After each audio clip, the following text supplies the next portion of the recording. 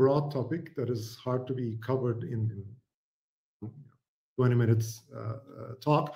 But uh, what, what I'll try to do is I'll try to um, discuss the main motivations behind federated learning. And I'm going to have a narrow focus on, on particular tasks which could benefit from federated learning in the context of MRI. So the, the outline of my talk is uh, first, I'm going to do the uh, focusing part. So I'm going to uh, describe which particular tasks that, that, um, that I'm going to describe in this talk. And as, as I work mostly on dense prediction tasks, this, these will be related to image formation, uh, for instance, reconstruction of accelerated acquisitions or translation between different MRI contrasts. And uh, I, am going to try to highlight why deep learning models are helpful for these tasks uh, and, and how do we train them, uh, how do we uh, deal with them. Uh, of course, during this discussion, uh, we're going to have some, uh, some highlight on the potential problems that arise in this domain. And, and the one that relates to the session regarding reproducibility is the issue of overfitting and, and generalization. Then uh, I'm going to talk about multi-institutional collaborations where you try to gather data from multiple sites and collaborate to train these models. And there are uh, there's there's both a classical paradigm of doing it and, and federated learning as a recent alternative. And I'm going to try uh, end the talk with uh, discussing some example studies and, and the proposed methods for the, the dense prediction tasks that, that I introduced in the beginning of the talk. Of course, AI is broadly adopted in medical imaging over the recent years, because we have many uh, tasks related to data processing in the classical medical imaging pipeline from how to collect data to how to form images and then extraction of intermediate features for quantification of some tissue properties down on to eventual diagnosis. And, and all of these stages and associated tasks have been shown to benefit from adoption of AI models over the recent years by many studies, and MRI is no exception as I said, I'm going to primarily focus on low level or early stage tasks related to MRI in this talk. And uh, as with other modalities, when you focus on image formation, the tasks always, in a way, involve how to address the physical limitations of the modality. For MRI, a primary limitation is that although it offers diagnostically rich and diverse contrast information from soft tissues in particular, it's an inherently slow imaging modality. This causes a disadvantage in, in practical use uh, because you know it, it, results in long exam durations, increased costs, and, and, lowers patient throughput. And some patient populations may not be uh, uh, compatible with very long scans, like you know, elderly or pediatric populations. So it really harms the clinical utilization of MRI to go about this problem, of course, you know, and, and this has been a long-standing problem in MRI, tackled with many different approaches. But the common ingredient to various different uh, techniques is that if you want to go faster, you just need to reduce the number of samples you're about to collect in your experiment. So that will take your scan time down. But at the same time, it will introduce some negative implications depending on how you choose to reduce the number of samples. If you're, for instance, uh, skipping some k-space lines in your acquisition, then you will introduce aliasing artifacts and noise, which will hamper the diagnostic uh, visibility of, of the image. Or if you don't want to touch k-space, but if you want to select, you know, pick and choose between the contrasts in your protocol uh, to prioritize some more, more relevant ones and, and downplay, for example, a T2 weighted image, in this protocol, then you need to face some performance loss in downstream tasks, whether it's segmentation or, or diagnostic use. Regardless of how you choose to undersample the data, whether in k-space or in the domain of sequences, uh, then you set up an inverse problem, which is uh, difficult, and because you start with, let's say, low quality data that is corrupted with artifacts, and you're trying to go back to high quality images, or you start with data with missing entries uh, in, in the multi-contrast protocol, and you're trying to impute this data and, and figure out how the anatomy would have looked like if you had the chance to collect all of the contrasts. And these inverse problems are difficult, and uh, deep learning models are particularly good at solution of inverse problems. So it's no surprise that, that, that they have been met with um, you know, increasing interest in, in MRI tasks. In the context of MRI image formation, you could take uh, a neural network model, for instance, to implement the reconstruction task and figure out the nonlinear transformation from undersampled acquisitions provided as input. And, and you can try to clean those images to provide outputs that will be consistent or as consistent as possible with fully sampled acquisitions. Or in the case of contrast translation, you could try to feed acquired source contrast images of an anatomy and ask the neural network to learn the nonlinear transformation that would predict what the same anatomy would look like if you had the chance to collect a target contrast sequence on, on, on that subject. And both problems, of course, can be dealt with deep learning models, but we need some basic ingredients. The first of which is because deep learning models are intrinsically data driven, we need a relatively sizable data set of sample data on which we are supposed to be performing the training of these models. In some cases, there may be public data sets for your use, but as your application gets more and more specific, it will become increasingly more difficult to compile this. But let's say you somehow gathered your hands on some data, then you need to pick your neural network architecture. Of course, there are a zoo of architectures out there by, by, by this date, and, and starting with relatively simple ones that start off at tens of millions of parameter, the recent trend is to go for even more and more complex models with the recent you know, transformer-based architectures exceeding over 100 million parameters. And depending on your application, you may want to opt for one or the other. Let's say you have selected the architecture. Now is the time to perform the actual modeling. So we have uh, our data set. We need to split it into a training and validation set at the very least. And the, the training set is usually the larger one among the two. And on these images with uh, in a supervised setup, the, the, the uh, corrupted images as input and the high quality images at the output side, you try to figure out the unknown parameters of the model by going through these samples. Once the model is trained, you need to validate it uh, because we want to make sure that the model will function as intended when it's eventually deployed for uh, on, on other new subjects that, that may come in. And uh, you know, validation uh, partly addresses this problem, but at the same time, uh, tracking validation scores is very critical because this is where big problems can arise in deep learning. And they arise because we are coupling very, very complex models with limited data. If you think about it, we have tens of millions of parameters on the left side with the models, but we have maybe at best hundreds or, or in some cases thousands of subjects. Uh, so th th there's a large mismatch in, in uh, the, the, the, degrees of uh, model parameters versus the subjects you're trying to train these models on. What that causes is in the loss versus model complexity landscape, although you can take your training loss uh, down to even zero as you increase the degrees of freedom that your model has, what happens in that, in that regime is that with over complex models, the, the, the model will start memorizing the nuisance strands in the training data set. So it will not be able to generalize to new uh, independent subjects. So the, the generalization loss or the validation performance is going to go down. And this is a well-known problem in statistics and dates, uh, you know, predates back uh, before the deep learning era. And there are classical approaches that are uh, that have been proposed and used over the years to deal with this, with, with this problem. Uh, you know, some of these techniques will involve cross-validation, uh, as, as I discussed, splitting of the data into a training and validation set, or regularization or data augmentation uh, procedures.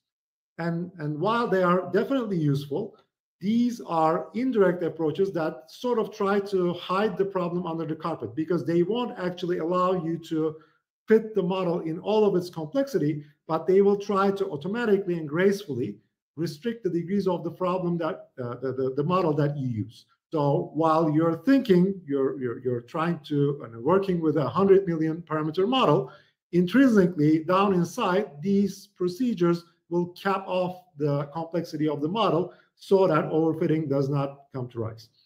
So they are not uh, the real solution to, this problem. The actual solution, of course, is to expand and diversify your training set so the model will get the chance to see many different anatomies or, or physiologies in different subject cohorts.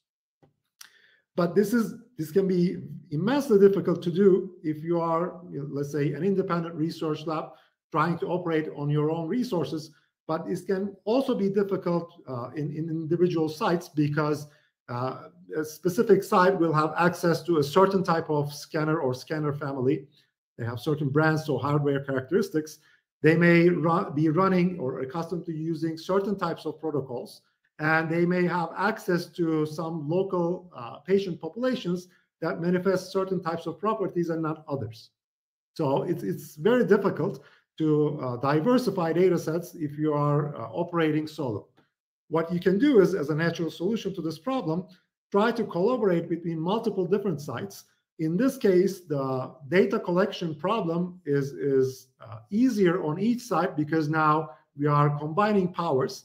But at the same time, because we will have access to different scanners, uh, different protocols, and different patient cohorts, we are satisfying the diversity condition in an intrinsic way without trying to stretch ourselves. Um, the classical approach to this problem that, that we have been running, uh, as you can see from the public data set that we compile for these purposes, is that each site does its own, own, own task of collecting some sizable portion of data, and then the sites come together, they transfer their data sets to a central repository, uh, and then once the data set is aggregated in this repository, the modeling phase can start. So we have access to this really large, diverse data set. So the model that you train will be more generalizable as a result. But there are problems in this type of centralized approach in that you need to transfer imaging data that's sensitive and that can contain patient-specific data in it, even though uh, you, you, try to anonymize it to your best. And uh, so, so you introduce patient privacy risk when you transfer this data across institutions or between the repository and the institutions. And furthermore, to set up such a large-scale collaboration, there are many ethical and legal regula regulations because transfer of imaging data is involved. So this can be quite uh, uh, both bureaucratic and, and uh, practical burden on the individual sites. Federated learning is uh, an alternative paradigm that, that uh, enables a shift from data sharing to sharing of models to help reduce the privacy risks and also to uh, reduce the bureaucratic burden because now uh, we are making a claim that we don't need to transfer imaging data, so the risks are lower, so we can be uh, maybe a bit more lenient on establishing collaborations. How federated learning works is we have a centralized FL server, uh, or, or I should say this is just one model or, or one uh, structure for federated lear learning. There are alternative architectures, but you know, th this is uh, a good uh, point uh, to start the discussion. So we have a centralized FL server which keeps a global model that we eventually want to obtain. Uh, this is the generalizable model that will have seen all of the training data from the sites.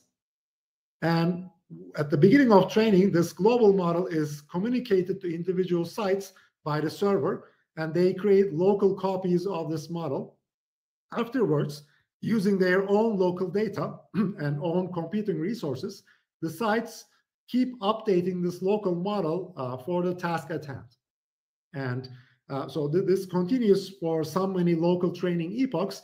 After a point, once the sites think that there's a sufficiently significant update, they resend their updated versions onto the server. So these uh, dashed lines, these boxes, represent the local copies sent from the individual sites.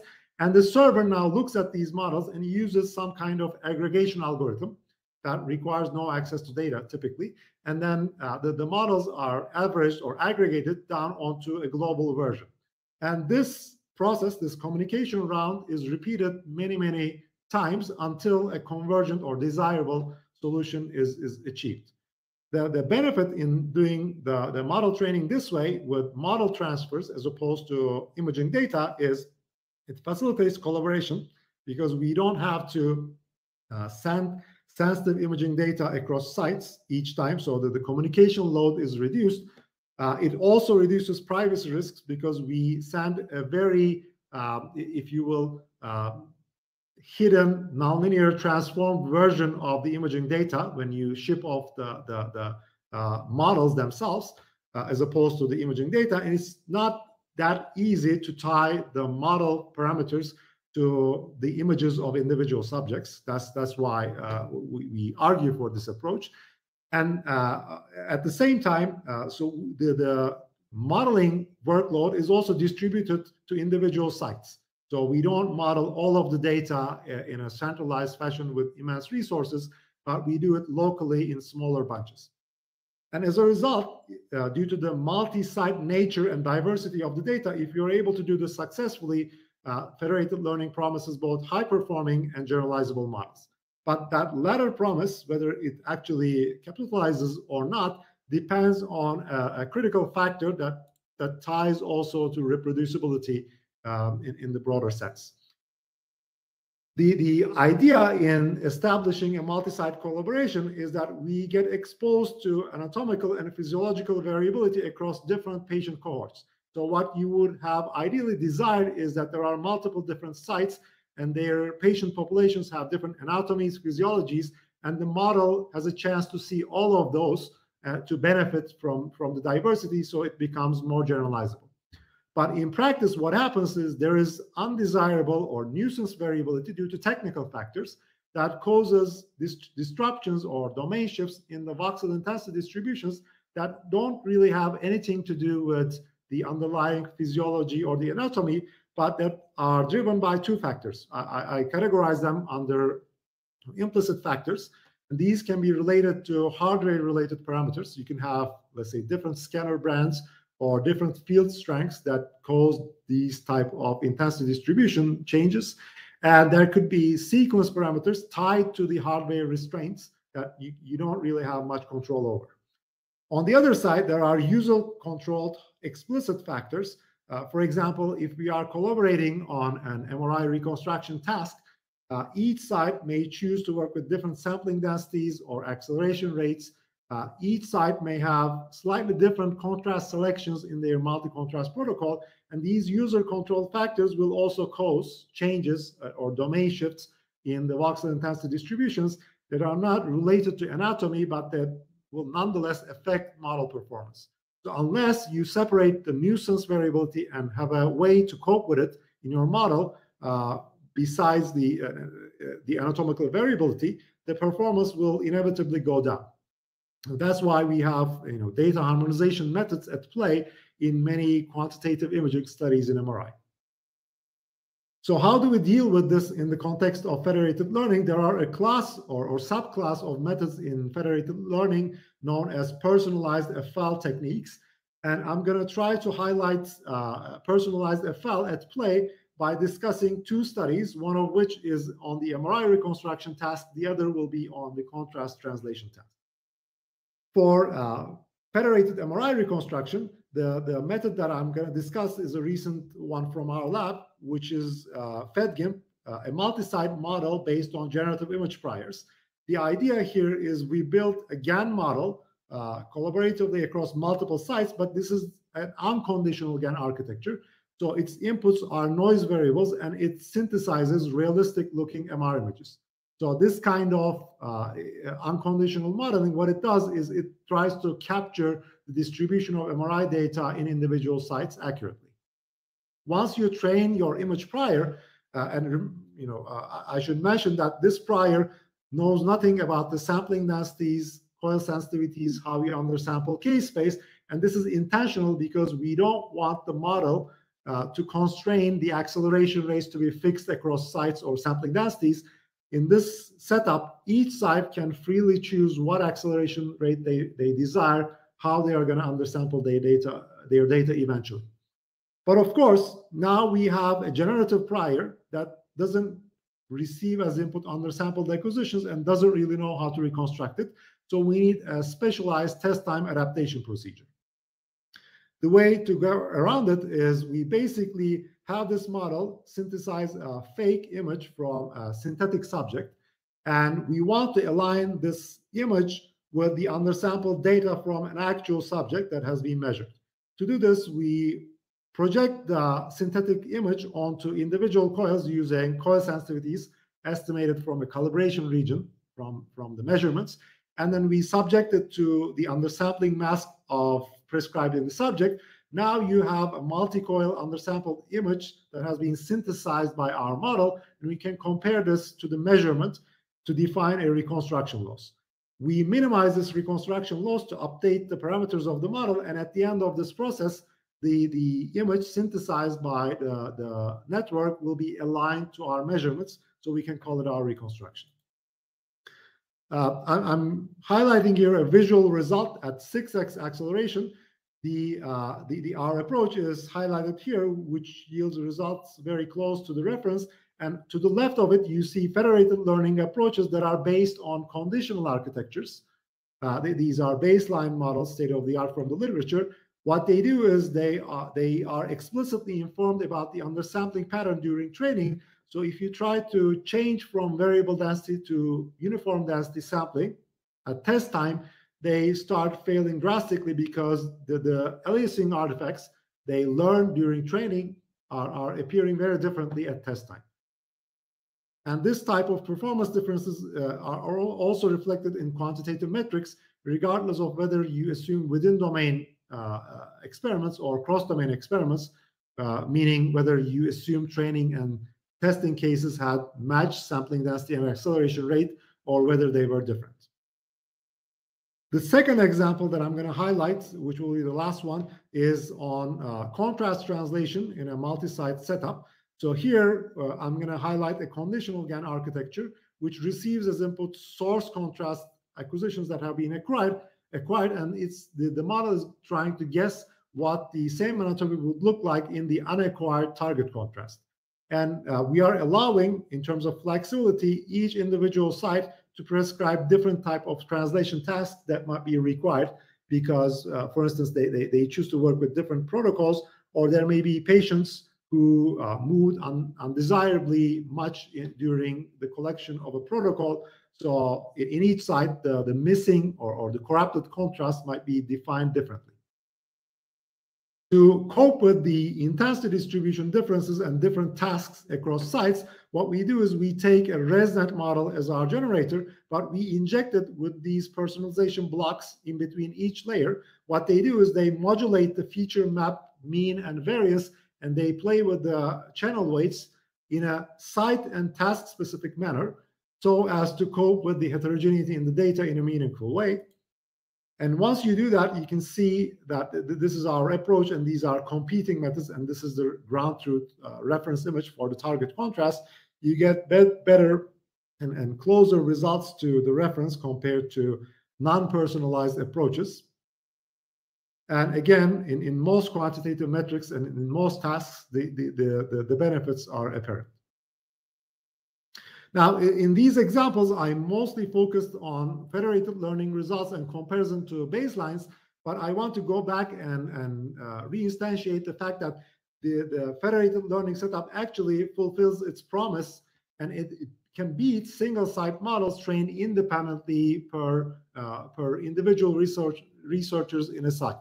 So if you take our, for example, reconstruction model trained across four sites and compare it to the same model trained locally in an individual site, you can see that it actually gives performance benefits. And these are uh, expected to grow larger as you have a site with limited local data or limited diversity in its data. The second promise of federated learning that it, it can uh, improve perform, uh, performance, but at the same time privacy. And personalization mechanisms are particularly useful in this regard so we have unshared discriminators in GAN model that are kept private. The server never sees it. We have feature map modulations and weightings in the generators, again, kept private from the server and other sites. And we don't share all of our network layers with the, uh, the server, but only the downstream layers are shared in a partial network aggregation approach. And all of these, uh, the, these items actually reduce the risk of information leakage while you're transferring models. And on the left, you see the uh, layer-wise information leakage probabilities across the generator. And you can see with each item introduced regarding personalization, we take down this probability from the brown bar down onto the green bars. And with that, I would like to you know, summarize the, the discussion. So federated learning enables privacy pres preserving collaborative AI by avoiding data transfer but instead communicating models or bits of these models. Uh, and because these models actually get a chance to see data from multiple different sites, they, they promise being more reproducible.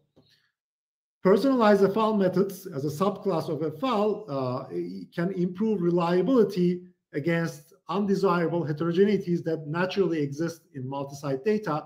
Uh, and, and by undesirable, I mean the cross-site technical var variations that have nothing to do with subject anatomy, but that arise from you know, hardware or software-related choices in individual sites. And uh, finally, uh, although I had time to discuss only image formation tasks that relate to dense prediction in, in MRI in this talk, there are many other uses of these models in downstream tasks such as segmentation and classification. With that, I would like to conclude the talk and thank you for your attention.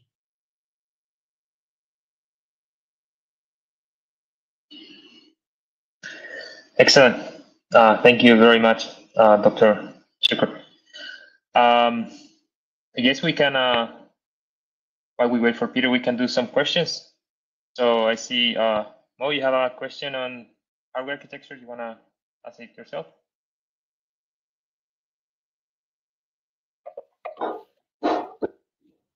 Uh, yes, uh, really great talk, and uh, you, already know that I'm really interested in this topic. Uh, so uh, I was wondering, uh, so there are differences in different uh, in across different sites uh, in terms of uh, the hardware that they use. And uh, first of all, did, did I understand correctly that different sites train the model collectively? Is it is my interpretation correct, or is it trained on a central site but getting data from different sites? So uh, if you're doing centralized learning, then you get the data uh, uh, accumulated before training starts and uh, how you have a central computing service on which you can do the, the, the, the modeling. But for federated learning, each site takes a, a, local copy of a global model and performs local training okay, with no respect for the data from other sites. And they ship off the, the local copy down to the server when the training is done. So it's done, it can be done synchronously across sites, or it's possible that they do their training on their own uh, timeline. But uh, in a way, they, they, try to do this in a concerted way to, to harmonize uh, the, the modeling updates. Yeah, yeah. So in that case, uh, does the models that are trained on different GPUs, for example, or different GPU families, be consistent to each other? or could it be an issue? There are no constraints on which framework you're going to use or which GPU architecture as long as it fits in. Uh, the, the, idea is you are only going to ship off the model way. So as long as you ship them off in a compatible format, uh, it doesn't really matter what you do locally. So there, there are no constraints in that regard. Perfect. Thank you. And uh, may I ask, uh, I'm, I, I have the chance to be here, uh, so uh, the other question that I have is regarding the data leak that you said. Uh, so you mentioned the probability of leak that is lower or higher in, between different uh, architectures. So how easy or how probable is it to to identify subjects from the trained models? So is, is, that at, at, at all possible or? So if, if you're sharing the discriminators in GAN models, uh, then it's really uh, uh, easy to identify by, probing into this model which of the subjects have been included as, uh, as, as training subjects in the set. So uh, they are very amenable to these kind of membership inference attacks. So that's part of the reason we keep them local because they are vulnerable. But on the generators that have in, only indirect access to training data through the discriminator, it's more difficult. So uh, you know, studies show that you almost have a 50% chance of guessing whether uh, a subject was in a training or not if you were looking at generator weights. So it's not that easy to do this kind of attack. And if you are talking about trying to reconstruct uh, images of training subjects, that's you know very very difficult yeah. to do. Yeah, I guess. Yeah. Thank you. Thank you. All right. Uh, I guess we can continue. So now we have uh, Dr. Peder Larson from UCSF, University of California, San Francisco, who will be talking about designing AI-based methods for reproducibility. stage is yours, Peder. All right. Uh, hello, everyone. Um, good morning, evening, afternoon, middle of the night, uh, depending on where you are here. get my going here.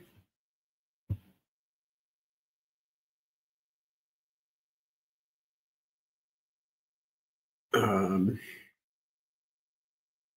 all right. So, um, yeah, thank you, uh, Tolga, for that, that great talk, uh, leading us off. And um, and I will actually try to tie this together uh, at the end. I'm I'm really was really interested to hear um, what's uh, what you're doing with federated learning, and, and I think there's a, a huge potential um, there as well. So um, I'm gonna um, uh, and I also want to say thank you to the organizers. Uh, this this uh, really cool, uh, innovative event. Um, okay, so um, I want to uh, um, let's see, um, give some uh, general, I would say, or a, a, range of thoughts on kind of reproducible um, AI methods. Um, you know, the the first question I'll just kind of throw out there is: is reproducibility can mean a, a lot of uh, uh, different things. Uh, I'm just gonna you know talk about generally things I think are somewhat reproducible or generalizable. Um, but there's a lot of uh, way to look um, at the problem and, and, where the problem I think of reproducibility in AI is going to come up. Um, you know, uh, does it mean you have to work on you know what how how uh, generalizable right different data across institutions, or is it reproducibility in how our techniques work, right? That we need to be able to create the same uh, training result, uh, create the same uh, inference result, uh, number of things here. Um, and uh, you know, I don't have uh, a lot more to say about data, except that I think maybe this is kind of the obvious one here of that uh, data is uh, incredibly important for the reproducibility problem. Um, but then um, I think methods wise, there's a few things we can do um, to improve reproducibility and some things I think actually the community is doing already. Um, and maybe just to add uh, to what you heard uh, in, in Tolga's talk um, is that, um, and, and I think this is important to think about when, as a community, uh, we're thinking what makes MRI different or unique from, you know, generally from computer vision, but maybe from other medical imaging.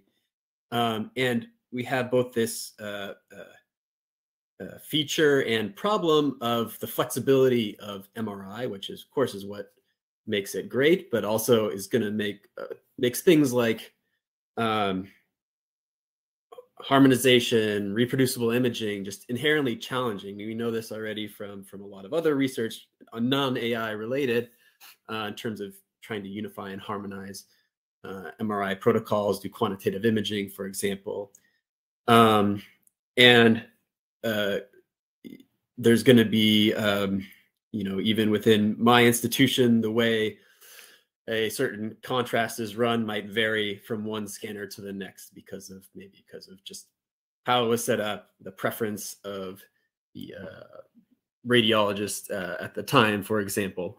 Um, in, in, our you know little things, echo times, echo train lengths, whatever that may be. There's there's so many parameters we can tune, um, and then uh, of course a lot of literature out there on the differences between vendors, between software versions, and I think uh, again, an area of both uh, uh, the power of MRI, but also a challenge for reproducible methods is that you know the, we're continuously trying to make the acquisition or the uh, methods uh, better, and even the reconstructions. But that's going to lead to things like data set uh, shift, and when we're trying to do data-driven methods. Um, so uh, the first uh, type of approach that I think, uh, fortunately, if you jump to the bottom, that that actually we're I think as a community doing very well, uh, is, is looking at uh, physics-based uh, AI methods. So um, we, we know we have a good, pretty good physical models for much of the MRI systems. So why go fully data driven if we can somehow bring in that uh, prior uh, physical knowledge into the methods? Um, and you know, of course, uh, the stakes are high for a lot of the things uh, that, that we do, uh, medical imaging and uh, hallucination, overfitting images to a population model. we need to be very aware that this is not just the image doesn't look good. This has downstream consequences. um, and so I would argue, I think that our methods will be more reproducible if uh, somehow we include uh, information about the known physics rather than uh, just data. And and I think the uh, in a lot of ways, uh, the MRI research community has already developed and readily adopted a lot of physics-based AI methods. Um, you know, the contrast to physics-based methods would be, you know, something like this: the vanilla uh, U-Net approach to undersampled uh, uh, reconstruction. Um, this taken from the uh, Fast MRI um, challenge. Um, and there's some maybe some uh, you know technical issues here. Uh, for example, it's thinking about the receptive field of the model is not going to be very good for a reconstructing um, uh, missing k-space samples, which have, of course, uh, receptive field is the whole image um, and parallel imaging. But uh, fundamentally, this is not, uh, uh, these are not physics-based approaches uh, or model-free approaches. And, and here's an example from the ISMRM workshop data sampling work, um, image reconstruction workshop, excuse me, um, where they took a, a, a model-free reconstruction, something like the one shown at the bottom, just fully data-driven, uh, you know, and, and it can lead to this uh, overfitting to the data that has been seen, and so can cause problems for for unseen pathologies, if uh, particularly when we push the acceleration factors. Um, and the the basis of a lot of the physics-based uh, AI methods in MRI reconstruction are based on algorithm unrolling, um, so taking gradient descent, ADMM, uh, and, and looking them as an unrolled uh, uh, unrolled process uh, where you have uh, neural networks and weights you have to learn um, through th through data and training. Um, just a couple examples here. this is a great review here at the bottom of algorithm unrolling. Um, and so, um, you know, so a lot of the uh, variational networks or unrolled uh, image reconstruction models are based on this principle. Um, nicely illustrated here at the right, where we have uh, multiple stages of the reconstruction, and each one um, includes a term uh, that's, uh, that is basically a CNN-based regularizer so that's where trying to learn, uh, you know, the features of and correlations uh, of the anatomy, uh, of the data, the contrast, um, but then having this uh, data consistency block where, for example, you might include uh, uh, the, the physics of uh, coil sensitivity maps and, and um, or just uh, minimizing the chance of hallucinations because you're doing these updates based on a, a, data consistency term, whether as opposed to letting the the model kind of uh, run wild. Um, and you know the MO uh, DL model-based reconstruction using deep learned priors is, is inspired by the ADMM optimizer approach. Um, and this is one of the methods you I consider state of the art. um, and uh, has the same uh, principle of, and it's, it's, really I think comes down to the the data consistency uh, term and and uh, but also uh, um, the fact that we're maybe leaning back on on optimization theory uh, as well. Um, and of course, we see that, that these unrolled networks like variational or MODL um, are going to give really really state of the art uh, results. Now, um, this is um, you know th this is not the uh, end all solution. I think there there can be still a, a, a data set uh, shifts. Uh, this is an example from from work from uh, Florian Knoll, I believe, um, where going to high acceleration factors. Um, if you're training on uh, one anatomy versus another anatomy, um, then uh, you can um, even in a, a physics-based uh, model lead to sort of artifacts and, and additional uh, hallucinations. Um, and I think, um, you know, to me, kind of open question of, of we have these changes in our acquisition that, that we're going to have because uh, we want to improve the other things, our coils, acquisition schemes, etc. How much new data do we need there? Um, all right. Um, then I'm going to switch gears here uh, to to think about and and uh, show you some example of ways we can begin to uh, assess confidence of our AI methods. And so, um, just to be explicit, the idea would be, well, well, how can we have some some better uh, confidence uh, in what the model is outputting?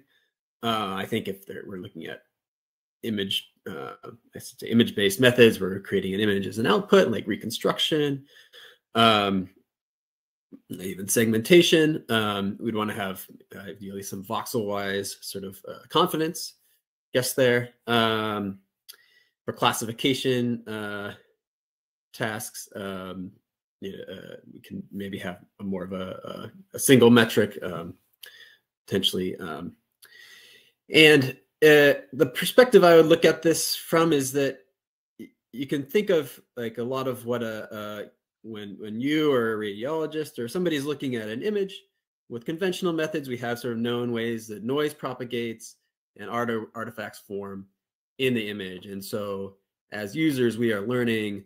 Um, we have a confidence when we see an image, right? If we see artifacts, we see higher noise levels, and that's going to degrade our confidence. um, and I think uh, as we uh, reduce the noise, as we get rid of some of these these artifacts and and really uh, fit heavily to data driven uh, models, is this uh, is this way of developing confidence, this visual sort of artifacts or noise, uh, going to remain? Um, Okay, and so one example uh, I could show is is from uh, uh, and, and, we can think generally or maybe Bayesian methods, uh, statistical methods, uh, where um, might be able to give us some additional insight. um, and so I have an example here from the problem of synthetic CT, which has a few of these applications, converting MRI to synthetic CT for PET MRI, MR guided focus, ultrasound, radiotherapy planning problems.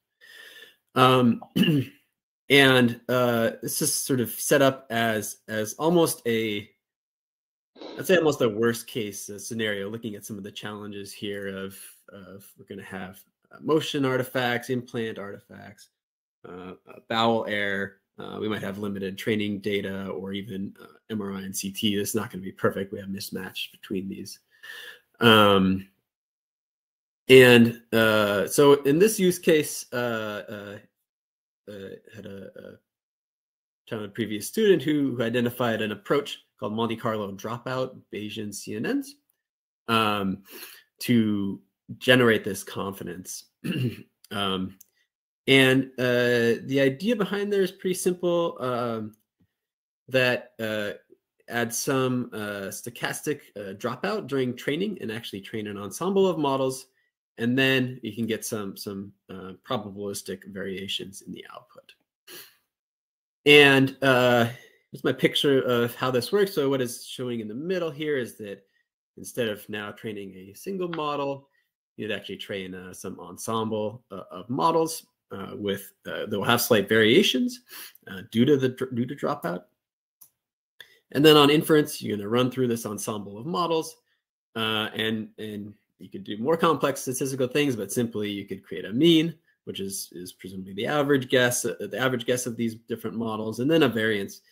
And um, this should capture some amount of the uh, model uncertainty or the, the model confidence, um, at least probably relative to what the, the, the model has seen uh, before or the quality of data that it's seen before.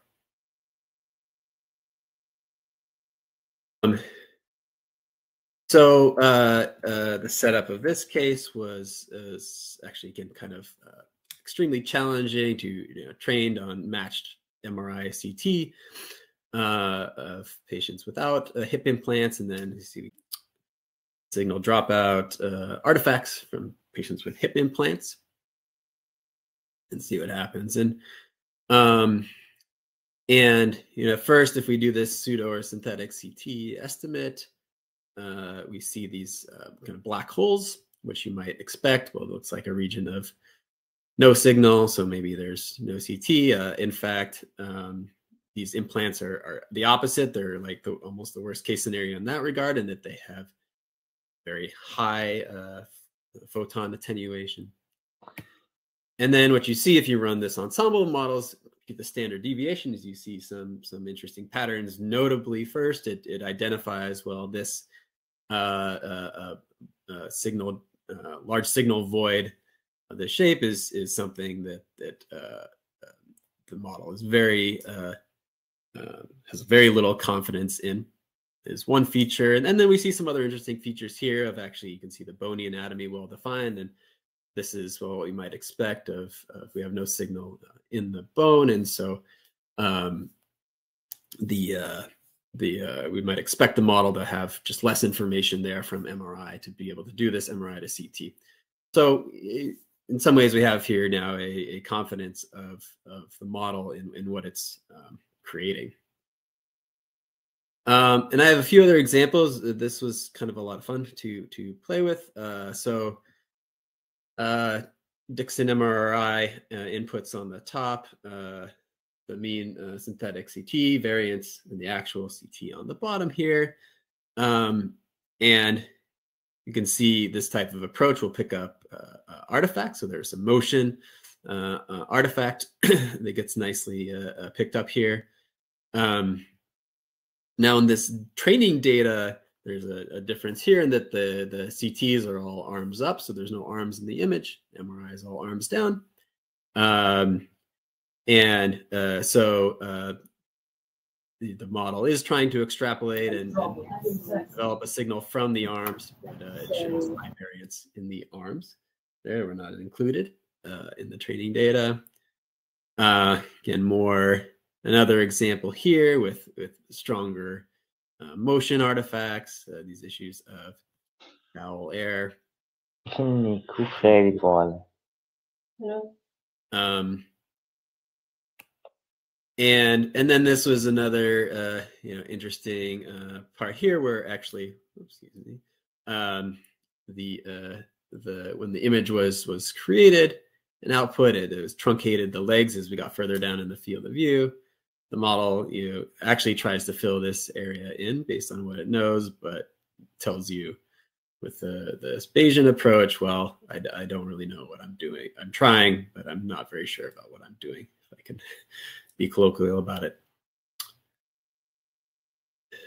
Um, and then in, in this case, this is uh, uh, there's some uh, way to actually incorporate this information into the PET uh, reconstruction by having an MR prior penalty here where we actually can uh, input this uh, confidence map and, and ask the PET data, uh, time of flight PET data to fill in some of this additional information.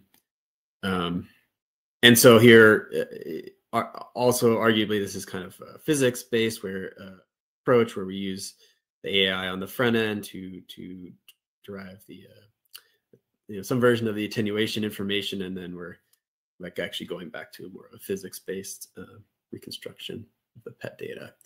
Um, and maybe the punchline here just, yeah, kind of works um, pretty well.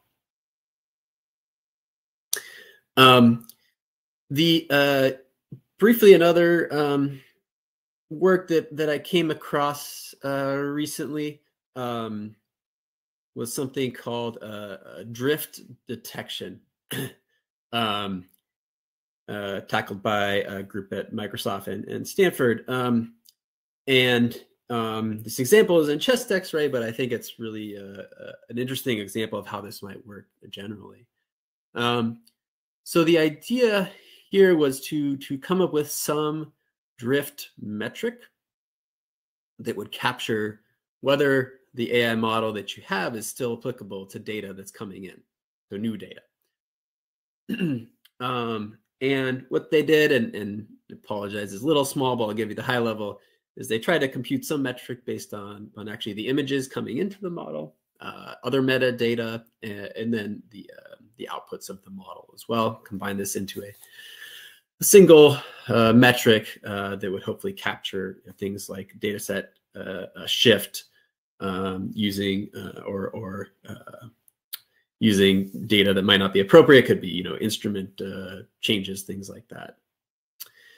Um, and what I want to highlight a little bit of, of sort of a possibility that they do here, uh, and I've seen some other sort of investigation of this, is um, you know using uh, to actually look at uh, uh, the feature encoding space uh, of a neural network uh, and use that to kind of identify out of distribution um, data. Um, and uh, um, uh, you could probably do this in a, in a number of different ways. Another way to think about this would be to look at, say, the feature encoding space and maybe do some um, you know, try to come up with uh, uh, some sort of clustering or or within that feature space um, a manifold that you you know that you expect data to live on for for being sort of in distribution um, and this is not easy with with imaging you know high dimensional imaging data um, and then maybe you could you could get a get a sense from from either from a, a this case a a, a uh, trained uh, autoencoder or maybe even from the AI model itself. um, you can look at this feature encoding um, space. Um, and so I think there are some interesting ideas, possibilities there. Um, the uh, this was an example from from this work uh, in chest X-ray where they the model was trained on adults.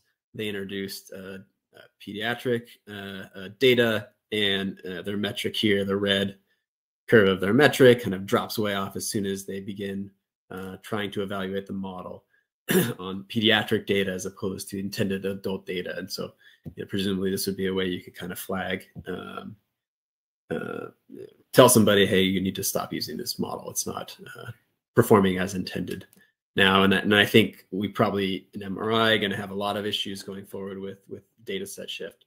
Um, so tools like this could be interesting. Um, and I'm going to wrap up uh, with a, another uh, uh, brief plug for for uh, federated uh, learning. Uh, I think I've also heard called distributed learning. Um, if you're just joining, I'll give you the, the quick overview, which is that basically data can be maintained within individual sites, um, training done on an individual sites, and then there's some server is going to do some kind of uh, aggregation of the training results uh, to generate a, a model that um, you know leverages uh, now hopefully larger and more diverse uh, data sets uh, to improve the outputs. Um, and uh, I think as Olga mentioned, Tolga mentioned, um, you know, I think this is especially valuable for for some academic uh, uh, research, which I think academic research is kind of inherently distributed, right? That's where we're all trying to get together at these conferences. That's what we're trying to do more open science, um, and uh, and then of course in healthcare, where the sensitivity and hurdles to sharing data are just uh, higher um, than maybe in, in other fields. Um, um, so I think there's a there's a huge potential here, um, and there's uh, um, I think there are uh, open challenges into uh, into the um, these processes are a little less mature as to how to set these up. Uh, in in some investigation that that, that I've been involved with, um, the tools that are available, you know, weren't weren't always okay. Um, for especially for uh, you know less uh, kind of standard models or or training strategies and the other thing that um, um, we might uh, we found that was really valuable and practically was to to set up some local um, simulation protocol we called FLSim um, to to actually simulate the federated loop locally before kind of deploying into a full uh, uh, federated uh, setting where it's it's a little harder to, to control all the pieces uh, that is going on. Um, and uh, uh, this is an example from two universities. Um, and I think what you can um, you know, actually pretty well appreciate from these these images is you know when um it's actually you can have uh, quite a bit of i think this is going to be an open challenge and like like was talking about some methods here um of even we're, we're doing a relative the standard prostate mri kind of protocol here of t2 weighted imaging and diffusion uh, weighted imaging uh, you can see that the the the uh, the image uh, outputs here um, are uh, quite um, different between our two sites. You know, I mean, there's even some some cropping things, but the uh, um, some normalization um, uh, uh, differences, uh, characteristics of noise, and even the annotations that we had available were different between the different sites. Um, and uh, so this is probably an open uh, uh, challenge with uh, federated learning. Um, but uh, what you can see in, in sort of the uh, top right and the bottom left corner of this this plot here um, is that we get huge improvements in generalization when going to this this little simple two site federated learning. Um, you know, but there is uh, some loss of of performance probably because uh, when you look at a single site um, and and probably uh, some of this is due to the the data set shift or the the heterogeneity between um, the two sites um, so um, you know um, there's uh, some a lot of potential uh, so certainly some challenges uh, to work out there as well um all right so uh you know final thoughts again. Um, there's a lot of ways I think we can think about and need to think about what it means to be uh, uh, reproducible.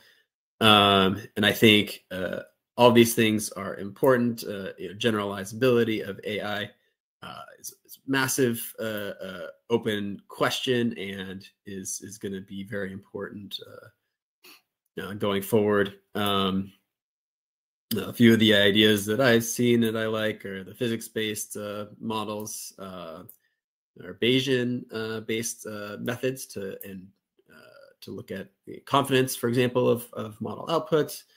Um, this idea of maybe drift detection, and then uh, again to to Tolga's talk of the federated learning. I think is is a very exciting um, area. Um, and you know, I think this this uh, area of reproducible and generalizable AI um, is going to be extremely valuable uh, going forward. Um, great, thank you for for your time.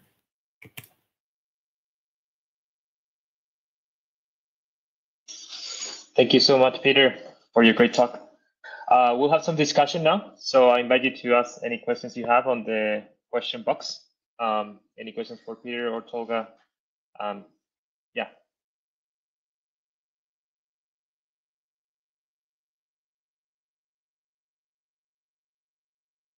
So we have a question from Mo. Uh, you want to ask it yourself or you want me to read it?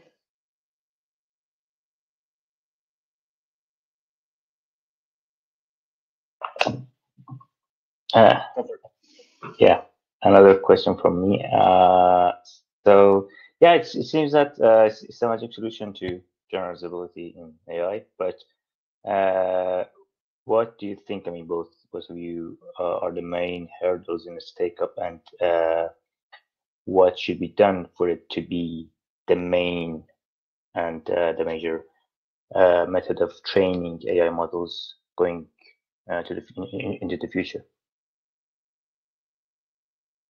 Or even would it ever, uh, you think, be a, a, a, method that could be used broadly in the future? So for federated learning, right? Yeah. Yep. Yeah. Yeah. yeah. Um, maybe you can speak, to this Tolga too, but uh, um, it's uh, there. There is a lot of um, there, there. There does need to be a big sort of um, harmonization or standardization. Or uh, I'm not sure I have the right term, but that, that goes into this because it's not like as a single site we can kind of do just the things things the way we want right? We can okay we choose uh, how we're going to do our uh, annotations how we're going to store our data um, i think annotations are actually you know a big one but even even pre-processing uh, of data if that's involved. Um and um you know now, now you have to come together and, and really agree on as a, or in, within the federated learning kind of consortium how you're going to um, uh, uh do this. I mean uh, uh, um, i think there may be other um, methods that will, will kind of you know get around that but i think that's one. And then um, the uh, you, you the you know when, when other people think about federated learning they think about like we're not talking two or ten we're talking like thousands of of kind of sites. And and uh it's probably not you know uh that would be a lot for for for for mri um but i think in the at least the way i've seen a lot of the current implementations is they do require to get an individual site requires a lot of expertise at that site. And so how do you make it something that's a little more um, push button almost from an individual site to get uh, set up and get into a federation or get into a group is um, a technical challenge, I think.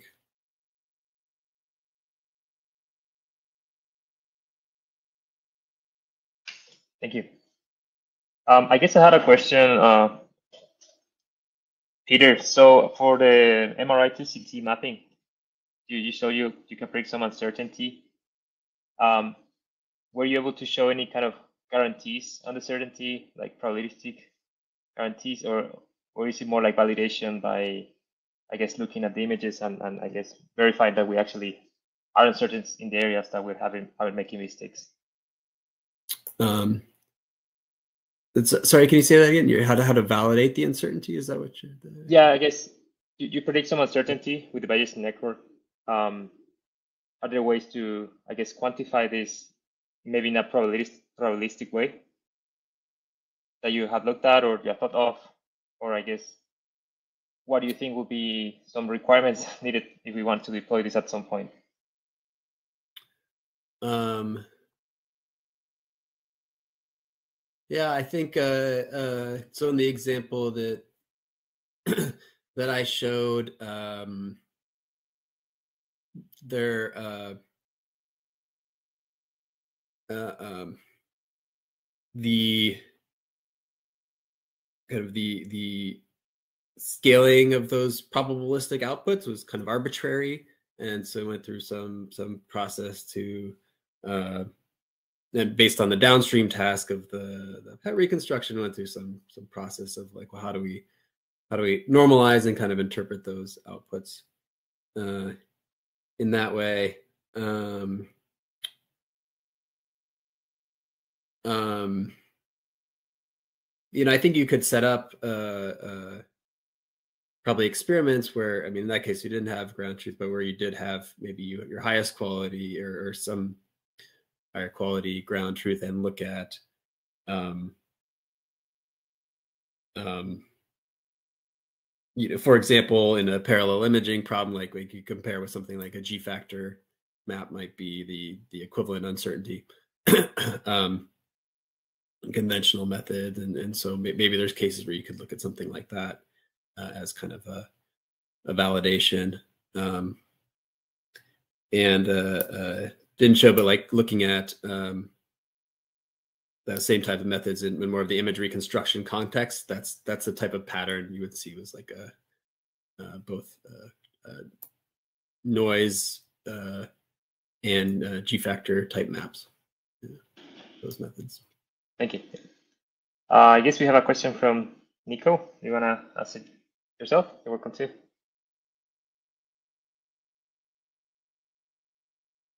Sure. Hi, everyone. Um, thanks for the fabulous talk so far. Um, yeah, I'm very new to the AI space, so I had some sort of general questions. So for, for Tolga, um, what are the biggest challenges for federated learning in multi-contrast MRI? And can you see federated learning being used in perfusion-weighted imaging, for example? Um, so, so, I think uh, uh, one of the biggest challenges for uh, federated learning in general is data heterogeneity. Um, as, as, I mentioned, there are multiple sources of it. Uh, so the, the clients or, or, the individual sites may have static uh, differences regarding, you know, scanner hardware, software, but they could also drift across time. So it may be difficult. You may also have to keep track of it. So I think that's a fundamental problem. And regarding you know, perfusion weighted imaging, I, I, think if the sequence that you're talking about is more sensitive to these types of scanner differences, you know, sequence parameters, then it will become more difficult to cope with that variability compared to something that may be more standardized, like an MPRAGE sequence that more or less yields consistent images. So, um, in my view, um, so, so either incorporation of some domain adaptation procedures with uh, small amounts of fine-tuning data or personalized FL approaches are needed you know, to, to address that challenge. So Great, thanks. Thank you for the question and the answer. Um, I guess I have one question. Um, I don't know if you're familiar with differential privacy, but are you aware of work into that in federated learning, I guess, with MRI data, that is sensitive data, has recent work on differential privacy being introduced in the training of models? I know that performance is hurt when we add differential privacy, but um, I don't know if you see any any thoughts on that. Yeah. Either Tolga or, or Peder.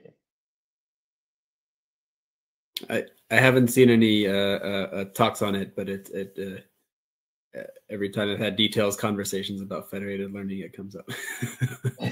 um, and yeah, and I think there's there's different ways you can kind of do uh, trust models, um, and and as well. I think we need to think about who are the participants in the the federation too. Um, um, yeah, but I haven't seen any work work work in that area.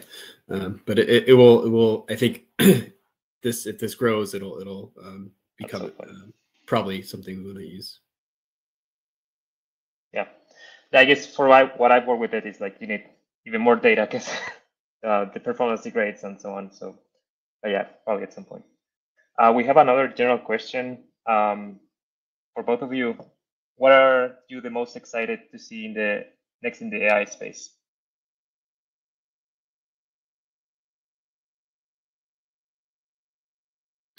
Um, I mean, I, I mean, per personally, I think one remaining problem of deep learning models, we have seen that they enable performance leaps in many different modalities tasks, is their, uh, you know, uh, interpretability. So, you know, when things fail, you know, how do we figure out which component has led to the failure? that's a big uh, I think issue. And some of the methods Peder outlined, like uh, with the uncertainty estimates, uh, I guess are going to be helpful in that regard once they become standardized. Um, and and the other thing is um, I, I, I, I kind of believe in this federated learning setup taking over the you know independent model building uh, over the long run. But I'm not sure whether the models should be you know these big sites uh, joining in in a collaborative training, whether it should be at the device level in a more swarm or edge learning setup that, that might be more continual and better distributed. So that, that's something I think that will uh, eventually have to be figured out in the long run. So that might be an exciting uh, development. Awesome.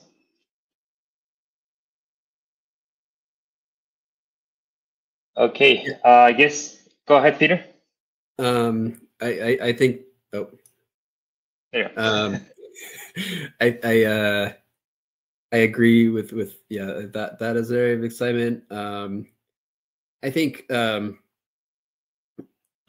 you know something that I think is coming along is is also um, you know just more less MRI technique and maybe more operational, but like the the automation uh, um, AI methods for automating uh, or even uh, uh, which which would lead to maybe better standardization of of just how they the, the data is acquired on the front end, right? Either the, the operations that scanner operator uh, are are performing, um, you know, maybe some uh, opportunities for um, data quality control just as as the scanner is being uh, run um, is is seems like kind of actually relatively low hanging fruit for for for AI, but could improve um, the use of MRI a lot in research.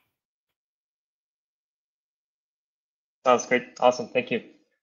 All right. Uh, we'll close this discussion, and we actually have another speaker. Uh, we have Dr. Ikbeom Jang from the Martinos Center for Biomedical Imaging at Massachusetts General Hospital. We'll be talking about uh, his work on structural imaging features at multiple scales to study neurodegenerative diseases. Stage is yours, uh.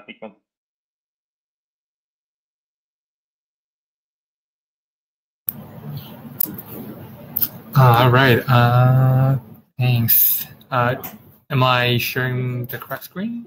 Yeah, we can see and hear. Thank you. Awesome. Uh, thanks for the introduction. Uh, this is Ikbeom Jang.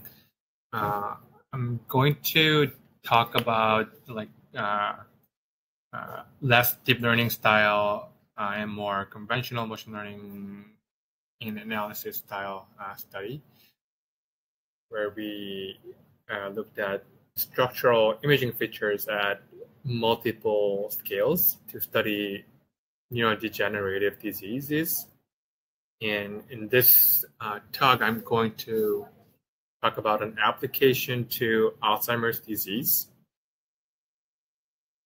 Uh, so uh, first things first, uh, let me give a brief background of Alzheimer's disease. Uh, a recent biological framework of Alzheimer's disease emphasizes three types of uh, pathology to characterize Alzheimer's disease. amyloid, uh, tau and neurodegeneration status. Uh, amyloid and tau are abnormal proteins in the brain. These abnormal proteins accumulate in specific parts of the brain uh, that support memory and many other cognitive functions uh, in the patients. These uh, uh, these pathologies begin a decade or more prior to the time when clinical symptoms are apparent that's uh, that has been a, a problem uh, for many years. And the third component, which is uh, neurodegeneration, is typically defined by atrophy um, or morphometry uh, measures derived from structural MRI. Uh, the commonly used ones are hippocamp- hippocampal volume and cortical thickness. So as you can see from the figure on the right hand side, uh, so healthy brain has uh, thicker uh, cortical tissues, uh, whereas uh, patients with Alzheimer's disease have very strained, uh, thinned, thinned cortex. And also, if you look at the, the volume of the hippocampus, it shrinks down rapidly. Um, so, so we just talked about the cortical morphometry, or such as hippocampal volume and cortical thickness. So, so those are the, the key measures that are being used in clinics recently to diagnose uh, Alzheimer's disease when MRI is used. but is cortical morphometry all we have from structural MRI, such as T1 weighted MRI? Um, and and and my answer is that we can also use intensity profiles. Um, so we so we propose to quantify imaging features at both uh, microstructural, such as uh, morphometry, and in microstructural level uh, from a single T1 weighted MRI. So microstructural uh, scale features such as uh, tissue properties obtained from multiple layers of cortex and white matter. Um, we we in so in this uh, application we aim to enhance the ability to detect uh, neurodegeneration as well as neuropathology of Alzheimer's disease. Um, so this is uh, all about uh, developing and defining our imaging markers. Um, and okay, here we go. So structural scale feature, and we call it GWR. Uh, I'll explain it more uh, below. So structural scale feature map generation is uh, described here in the slides. So we first, um, so so we expanded expanded the intensity or contrast metrics include tissue sampling uh, from from from multiple points through the thickness of the cortical ribbon and subjacent white matter to obtain an array of intensity linked features. So uh, yeah, I'm not sure if the if the image in the right hand side is big enough, but uh, you can see we have like uh, several layers of white matter or WM, or and we also have several layers of gray matter uh, or GM um, throughout the cortex. And the, the red color, red surface represents the white surface, uh, which is the boundary between gray matter and white matter. And the, and the white is the pial surface, which is uh, boundary between gray matter and CSF. Uh, and so we we the intensity ratio between okay, before before doing that. So specifically, cre- we create a set of surfaces in white matter sampled at 0.5 and 1 millimeter, uh, subjacent to uh, gray matter white matter border. And also, we we extract four surface layers um, in the gray matter. So we have uh, like four gray matter surfaces, surface layers, and white matter, two white matter layers. We create ratios of each pairs of surfaces, which give us eight contrast features at each cortical surface vertex. Um, so the the rationale for computing this ratio or or gray to white matter contrast is that uh, gray matter and white matter intensities from from neighboring neighboring voxels or, or vertices are expected to be similarly influenced by imaging parameters and protocols or, or imaging sites, whatever. Therefore, getting this ratio between white matter values and the corresponding gray matter values provide a relatively normalized unit across different imaging environments. But this is uh, the whole rationale of doing this, because we we all know that different MRI, different imaging device can result in different type of images. Different uh, MRI manufacturers have diff- provides different images, even if uh, even if even for the same anatomy, same subject or same participant. Um, therefore, getting some some normalized uh, property uh, out of different or various imaging devices is is very important. Um, so uh, this uh, this this flow chart contains a lot of information, but uh, I'll, I'll focus on some important stuff. So step A, we do a lot of image processing, uh, primarily using a FreeSurfer toolbox. Um, we, uh, we do the segmentation um, and cortical mapping. Um, then after that, we get tissue properties from multiple layers of gray matter and white matter as discussed uh, in the previous slide. Then we compute gray matter to white matter tissue contrast at, at, at each vertex or each, each uh, uh, yeah, yeah, vertex is the correct word. And so this is what we call the uh, relatively microstructural scale level features. And, and we combine that with more conventional uh, feature to compute cortical morphometry. And here we use cortical thickness across the across the cerebral cortex. Um, and then, I mean, of course, we can use all, all these features together, but what, what, we, what we do here is uh, doing the marginality reduction using a vertex-wise uh, partial least squares uh, discriminant analysis um, so that we get a single single feature value per vertex. And then we do classifications. We train multiple machine learning models um, to to do classification uh, tasks, um, such as uh, differentiating Alzheimer's disease patients from controls or um, or detecting uh, patients with uh, mild cognitive impairment who will develop Alzheimer's disease in the next five years, or even um, detecting normal, like cognitively normal individuals who have amyloid pathology in the brain. So, uh, so models such as uh, random forest neural networks, um, vector machines are all trained uh, separately, and then we choose uh, five best models to, to ensemble then we test on the held out uh, test set and also show statistical analysis. Um, so uh, here's uh, the figure shows the effects of Alzheimer's on on our feature called MSSM, and also on the conventional cortical thickness using standard statistical contrast. Um, so left is the proposed method, and right is the conventional method. So use of the MSSM features double the number of uh, number of vertices showing a statistical difference between Alzheimer's patients and cognitively intact uh, controls compared to additional uh, cortical thickness measures, uh, demonstrating the increased sensitivity of the MSSM metric. Re regions, brain regions most affected are those known to show early and aggressive degeneration from pathology studies.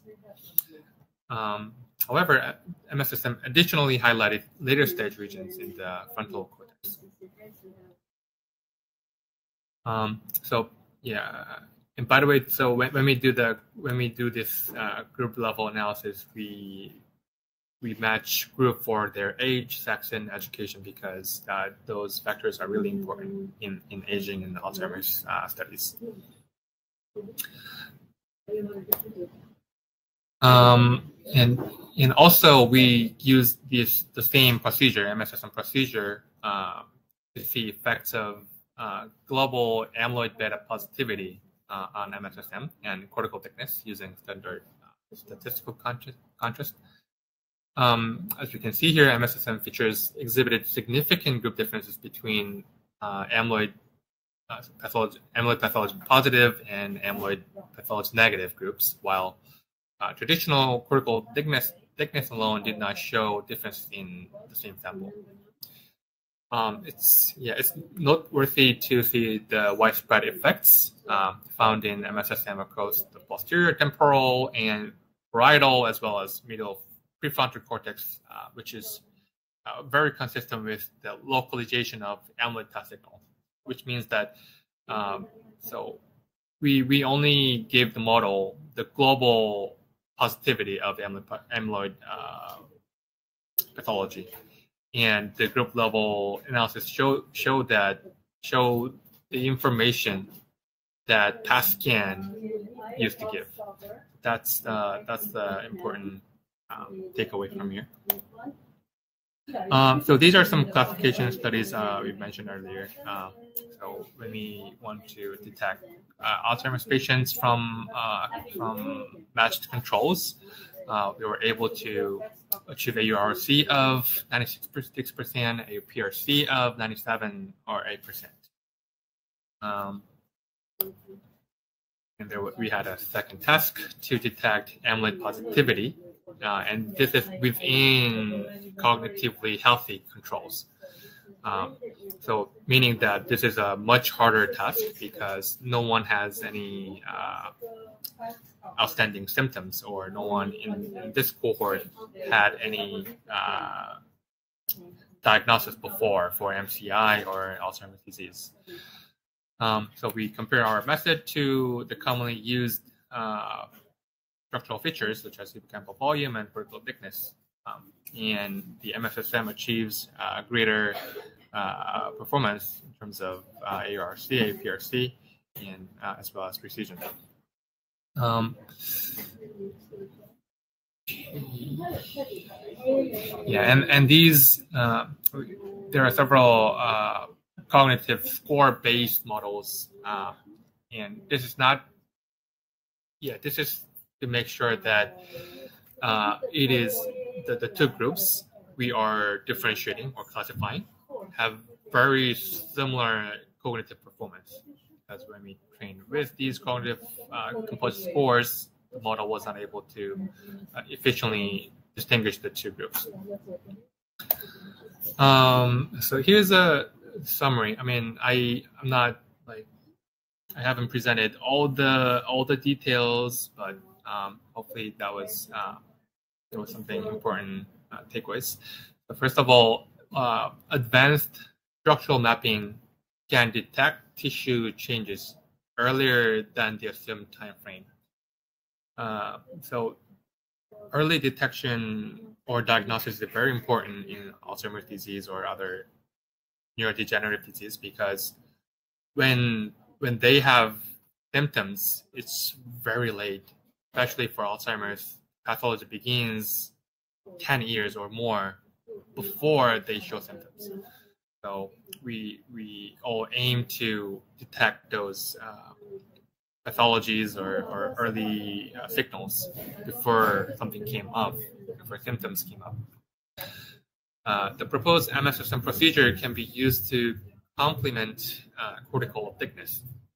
And these preliminary results suggest that we can identify disease atrophy signatures and neuropathology in non-clinical, asymptomatic, non-diagnosed uh, younger individuals.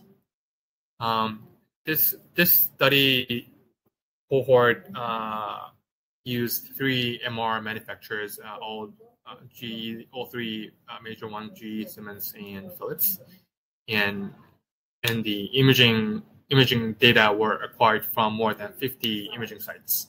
So the method shows generalizability uh, across uh, many different environments. However, um, substantial validation of the diagnostic framework is still required on more diverse racial groups um, and on, on more diverse uh, databases, uh, completely different databases.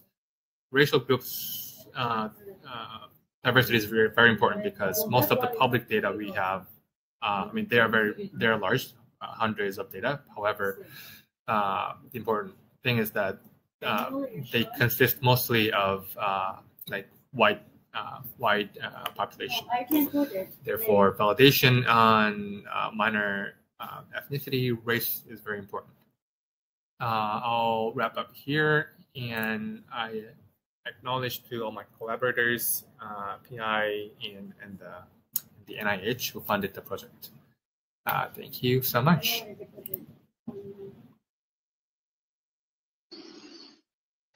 Thank you very much, Ikbeom. Um, we have some time for questions and discussions. Um, so please put your questions in the question window and about questions. And yeah, we can have discussion with everyone. Or yeah, yeah sounds good. Is any time they call you back and say something? Yeah.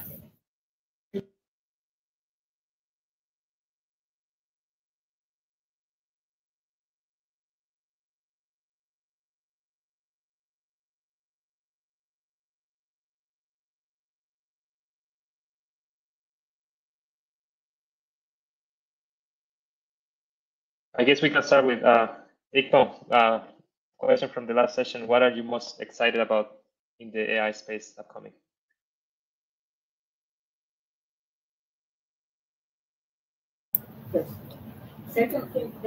I cut. Uh, sorry, I cut off for a sec. Uh, yeah, I guess what are you most excited uh, coming up forward in the AI space? Uh, I mean, it's it's amazing. I mean, uh, I think the most most uh, exciting thing about AI is, I mean, not just uh, specific to me- uh, medical area, but also in, in all the areas, including NLP, computer vision, like self-driving, everything. It's I think it's growing really fast because a lot of things are open sourced, and people are even sharing the the precious data they have collected for years. Uh, they have coded for years. Uh, so yeah, leveraging all together, it's growing really quick. I was amazed recently by the, the chat GPT by OpenAI, for example. I mean, amazingly good. And also for, yeah, in the medical domain, uh, federated learning is a, is a very important area because, you know, it is uh, growing area because of security and privacy issues. And uh, so I think, I think the, I, don't, I don't, I'm not saying that AI is everything in, of research, uh, everything of technology. However, I would say that uh, making making your research open and widely accessible is the key to uh, the success of the field, um, and that's what I'm most excited about. Awesome, thank you. Uh, we have another question from uh, Nico. Do you want to ask it yourself? Sure, I can do. Hi, Ikbeom. Um, so my question was uh, towards the end of your talk, you raised the issue of bias um, based on ethnicity in AI models. Um, I was wondering, one of the main solutions that gets proposed is using more diverse training data sets, but are there any other solutions um, to this sort of? yeah, um, that's uh, that's a that's a great and big question. I would say. Uh, so some of some of the, I mean, there's some of the uh, approaches in in terms of uh, machine learning techniques. For example, uh, if we want to be uh, more, we want to focus on more equity uh, uh, across uh, like diverse races. For example, there's a way to uh, give different weights in training. For example, like if you have very very little data uh, uh, for for Asian population or, or, or black population, for example, you you you're able to give a greater weight on, on those samples when training the network or, or even other models. So that's one way of uh, like going around, one way of like work work around about biased uh, or or uh, non-evenly distributed uh, racial population. But I mean, I would still say if you have very little samples in specific uh, racial groups, I would still be interested in getting more data in those uh, minor population. Uh, but doesn't mean that we have nothing to do. But yeah, I think the data is the most important thing in the end. Thank you. I guess I have a general question on re, uh, like tying to having open source code and everything, uh, tying that to reproducibility, reproducibility. So I guess usually one of the main constraints is the data. So I guess federated learning comes here because allows uh, us to like access the data without really accessing it. But um, how do you see this? I guess in general in the in the space um, on how do we actually share? I guess we start with some baseline, right? And, uh, and some other researcher wants to work on top of this, right? How do you see this uh, federated learning being able to be shared in some way? So other researchers can build on top of it, and anyone on the stage, I guess.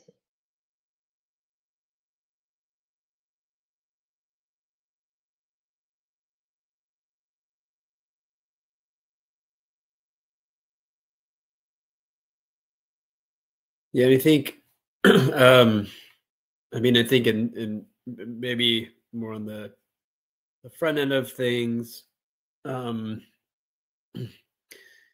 I, think it's it's both good uh, to is to have the um, you know, the the methods that are being uh, uh, used uh, uh, sort of by the by the central server, like in in, in federated learning, to be um, to be open and available to you know uh, anybody who's participating in, in, these or wants to uh, take advantage of that. Um, um, and I think I mean it'll be kind of you know maybe with a slight balance of having something on the side to to preserve you know, privacy preserving um, if uh, you want to be aware of attacks. Um,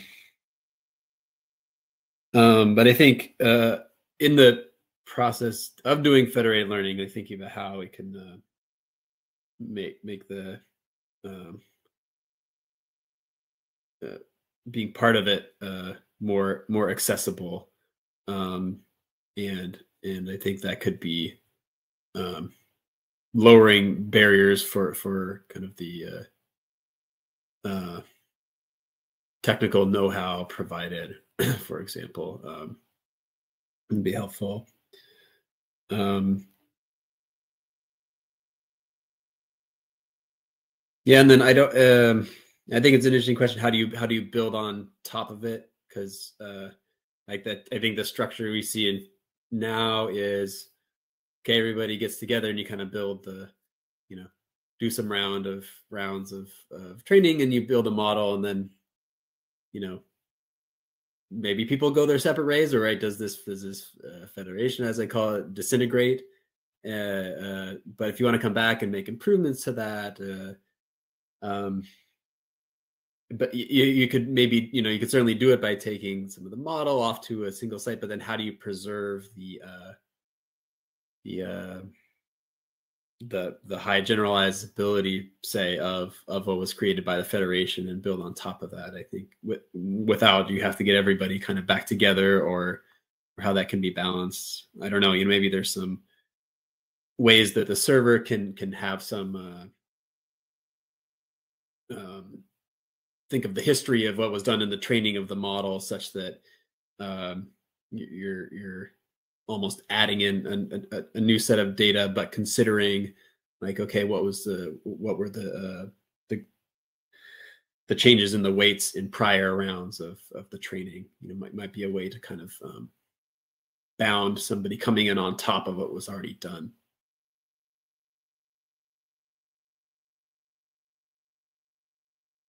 Thank you.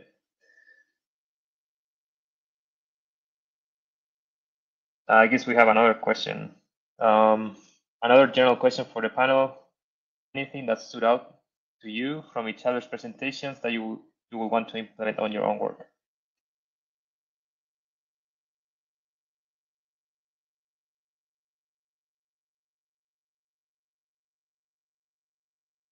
Hopefully. I uh um yeah, I think some of the things that that uh, Tolga showed about about thinking about um, uh, how to maybe unify data from from different sites and um, um, was something I, I uh, definitely want to take a closer look at. Um, see how to do.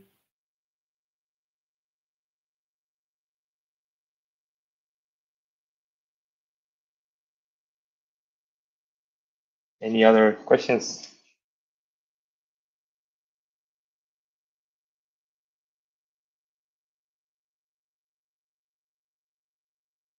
Okay, great. I think we can uh, close the discussion.